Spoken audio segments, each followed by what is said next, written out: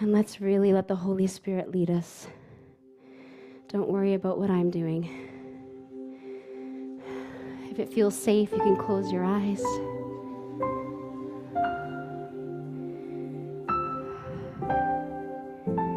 What shall we say to these things? I want you to go deeper today.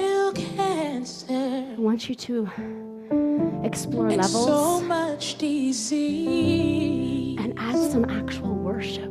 What shall Thank you, Lord. we say to these things? So much hurting Yes, Lord. and broken esteem.